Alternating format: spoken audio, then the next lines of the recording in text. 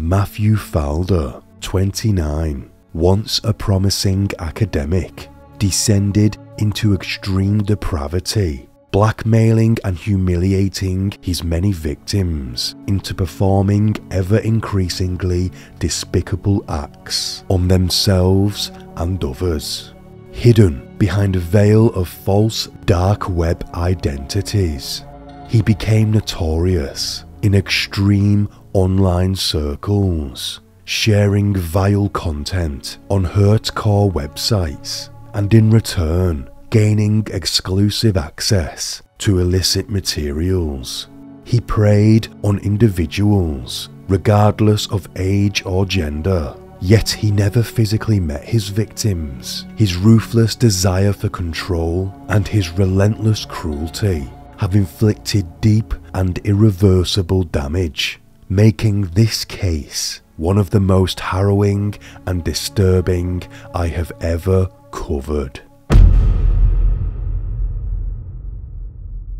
I remember when Falder was arrested and I was shocked and disgusted by his crimes. It always stuck with me and the only reason I haven't covered this case already is because I assumed it was already well known. But as it turns out, I don't think it is. Falder is everyone's worst nightmare from the dark web. He's relentless and ruthless, and his only goal is to take everything away from you. He wants you to be terrified, and he wants you to feel like there's no way out. Be warned, this is a rough one. But before we dive in, I want to let you know about my second channel, Grim Tales. I'm sure that if you find this content fascinating, then you'll feel the same over there. A link to the channel is in the comments section and the description of this video. As ever, please drop this one a like and subscribe if you are new. Thank you. This video is created solely for educational and documentary purposes. It does not endorse or condone the criminal actions described within.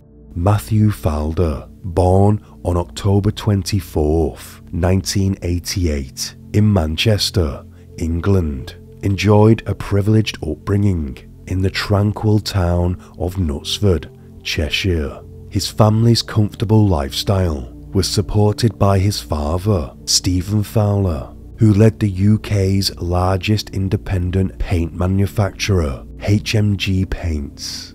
A standout student from a young age, Falder attended the private King's School in Macclesfield before furthering his education at the prestigious Cambridge University. At Cambridge, his peers knew him as a confident, humorous individual with a magnetic personality, and he earned respect as a promising scientist specializing in seismic oceanography. Falder's potential was evident as he embarked on a postdoctoral research career in geophysics at the University of Birmingham. His academic excellence was not unnoticed. One tutor even remarked on his significant international contributions to the field and said he was one of the best students that they had ever taught. Throughout his first year at Cambridge, Falder began a decade long relationship with a woman who was the same age but shall not be named. Despite the outward normalcy of their relationship, beneath the surface, violence was brewing within Falder, totally unbeknownst to his girlfriend. It was at university that Falder's crimes began, and over time they would escalate in severity. He started with covert surveillance of his female housemates, secretly installing cameras in the bathroom, as can be seen in this clip. He once confessed to a male housemate what he was doing, but when his disturbing admission was met with alarm, he brushed it off as just humour. This was the beginning of a contrasting outward demeanour and a hidden dark reality. his fascination with unauthorized filming intensified to the point where he used his 21st birthday as a way for further invasions of privacy. He arranged a bush trip for numerous friends from Cambridge to visit his parents' numerous homes. This was a big party. Falder used this opportunity to capture unsuspecting women naked without their consent. Over time, Falder's actions became more depraved. He devised a deceitful scheme to ensnare victims, adopting the guise of Liz, a fictitious female artist on Gumtree and Facebook. He targeted individuals, advertising babysitting or pet walking services, baiting them with offers of up to £4,000 for nude photographs under the pretense of needing them for therapeutic charcoal sketches. He told them, as Liz, that her therapist had told her that this would help her and that once she was done, she would destroy the photograph and nobody else would see it. Falder was preying on vulnerable people who were desperate for money, and most of the people he would ensnare were young females. He chose Gumtree and Facebook for their ease of creating new profiles. Upon receiving the images, his true intentions surfaced. He was extremely computer savvy and was able to locate the victim's personal profile, and then he would blackmail his victims, threatening to distribute the photos to their families, acquaintances, work, and schools, unless they complied with his increasingly degrading demands. Have you done that? No comment. Have you sent pictures of your blackmail victims to the parents No comment. of the victim, the grandparents, No comment. the workplace, No comment. the schools? No comment. Falder coerced his victims into posing in humiliating positions, often holding signs bearing messages like, I am a sex slave. He escalated his demands to the point of forcing them to record themselves, engaging in acts of degradation, such as making them go to McDonald's or train station public toilets and film themselves licking the toilet seat or brushes, or eating used sanitary products, or even dog food. He made them pose with photos of Hitler and make them sing extremely offensive songs, all for the purpose of future manipulation. The victims were never meant to comply with him. One young female sent him over 200 images, but it was never enough, and there was never an end unless they did it themselves. The impact of his actions was so severe and far reaching as he widely distributed his content on websites for people with sinister interests like his, leaving lasting scars on the lives of the affected people. The website of which he uploaded the images to was called Hurt to the Core, which is on the dark web and known as the worst website in the world.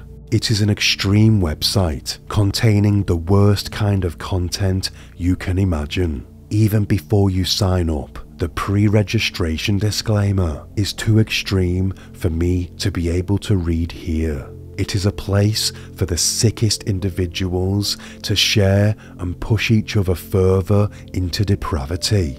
You get rewarded for uploads and how popular they prove to be, and Falder was top ranked on this website. He took great pride and got a sense of power from being so popular on the sick site. He had his own series of images, of which contained torture of the most vulnerable, which proved to be very popular. The content, I cannot stress enough, is as bad as it gets, and it's hard to believe that places like this really exist, but they do. Sickening. He uploaded images with text all about his victims. One of the victims, who sent him over 200 images, was threatened with those images being sent to her mother and school. The dialogue from the messaging between himself and the victim was screenshotted and uploaded to the website as the audience got a sick kick out of her anguish. Falder also posed as a teenage female in an online forum and was able to convince a young vulnerable female from Eastern Europe to be his girlfriend. In an online exchange with another abuser, he said of her, and quote, I'm thinking of just betraying her as harshly as I can to see how much I can mentally F her up. I think there is even a bit of a chance that she ends it all. Another victim was a young female in foster care who was told her disabled brother would be taken away from her if she did not keep sending degrading photos. Falder forced her to pose with a sign that said, I look after my disabled brother. Now I am being forced to strip. Harrowingly, he also managed to manipulate a young father into forcing himself on his son and filming it to which Falder shared with his fellow sick friends. The images that he provided to you, have you shared them with anybody else? No comment. Have you distributed those images to um, any like-minded individuals on the forums we've discussed previously, No comment. or with any other person? No comment. He also shared instructional videos on how to intimately abuse youths, as well as guidance on how to give youths sweets, which were soaked in urine or even more disturbing bodily fluids. In further posts, he wrote about arranging to meet a blackmailed victim for intimacy in a remote location and told how he would make the person tie themselves to a tree, lock the bindings, and throw away the key to ensure a slow and painful death. Falder also suggested a twisted game in which a curling iron would be inserted into a woman's vagina and could only be turned off if they answered a question correctly. He also posted a video of a man repeatedly throwing a victim who couldn't swim into a pool, with them submerged for several seconds each time, and also spoke of fantasies of breaking victims' bones one by one until they slowly died. It is truly the worst of the worst. Falder prided himself on his notoriety as a blackmailer, frequently gloating to his victims about his supposed anonymity and elusiveness from the law, stating that he could never be caught. He used a network of encrypted email addresses and advanced Tor software, which gives anonymity online and hides your activity. It also facilitates access to the dark web. Additionally, he strategically utilized email accounts based in Russia, aware that such a move would create significant hurdles for the British authorities pursuing his case. He used usernames such as In the Garden, Evil Mind, 666 Devil, but in total he had 70 different online identities. And it's become apparent that obviously that's an email account that's current and you're using at this moment in time. Is that correct? No comment. Is there any other email accounts, Matthew, that you're using at the current time? No comment. If there are any more email accounts, what are the passwords for? No comment. In 2014, under the alias 666 Devil, Falder asked for suggestions from fellow Hurt to the Core users on methods to inflict torture on his daughter for what he called the week of suffering. In truth, Falder never had a daughter. These were in fact intended for another father that he was blackmailing. This disturbing questioning drew the attention of law enforcement and prompted an urgent worldwide investigation by various national crime agencies aimed at rescuing the girl in peril. The agencies involved were the Government Communications Headquarters, which is one of the three intelligence services in the UK, the US Department of Homeland Security, Europol, the Australian Federal Police, and the New Zealand and Israeli police. This investigation was so complex that it lasted for four years. And this was four years in which Falder was still extorting his victims and forcing them to create content. During this time, four of his victims tried to end everything. Once the investigation was nearing completion, they had an address in Birmingham, England, and the name Falder. Before they arrested him, they had to observe him using the laptop, as can be seen here. They did this to prove that he was the man behind the screen, as he never met any of his victims in real life, which is actually amazing and infuriating when you consider what depraved acts he forced people to do.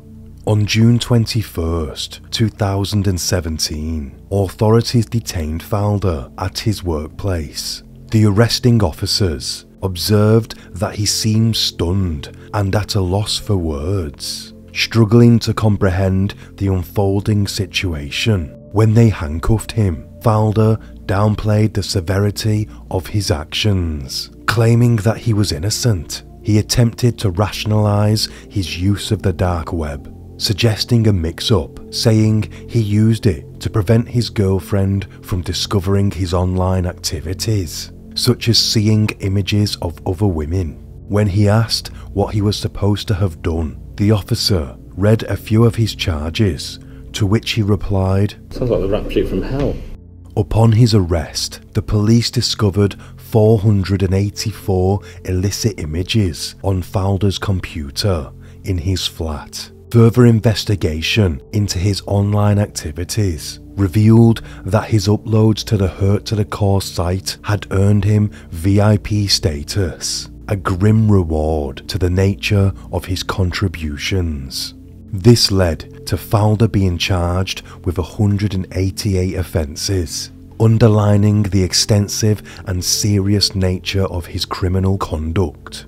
It is believed that Falder had between 60 and 180 victims. NCA Senior Investigator Officer Matt Sutton said, In more than 30 years of law enforcement, I've never come across an offender whose sole motivation was to inflict such profound anguish and pain. Matthew Falder revelled in it. I've also never known such an extremely complex investigation with an offender who was technologically savvy and able to stay hidden in the darkest recesses of the dark web. This investigation represents a watershed moment. Will Kerr, NCA Director of Vulnerabilities, warned Falder is not alone there are many other users of some of these dark websites that we are very concerned about. Cambridge University, which said it was appalled at the crimes, was actively pursuing